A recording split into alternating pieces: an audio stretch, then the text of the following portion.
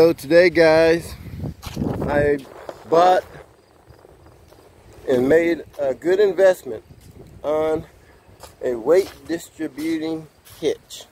It's used, got it for 50 bucks, and I have to say that I am quite impressed with it. I took it on an interstate run, and it works great.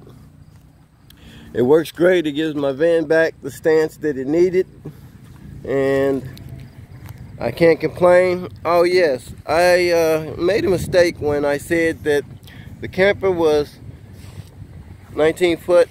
Well, I measured the distance of it and it's a 28 foot camper.